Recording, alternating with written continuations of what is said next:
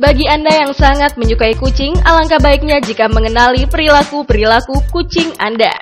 Karena jika tidak, mungkin Anda akan terkejut seperti video yang berikut ini.